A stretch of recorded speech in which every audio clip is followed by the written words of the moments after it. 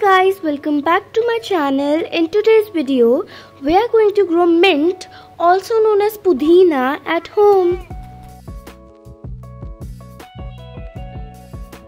For the first step we will plow the soil. For growing mint you need mint seeds or mint stems. If you already have a mint plant at your home, then you can dig out some stems from there or you can buy the seeds from the market.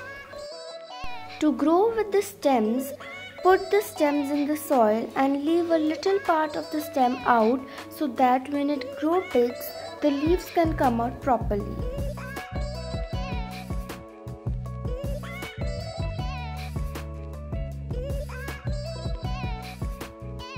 Now water the soil properly.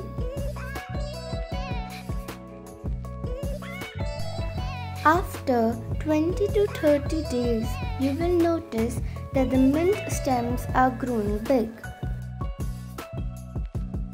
After 40 to 50 days, you will see a lot of mint leaves on your plant and you can harvest them at this time.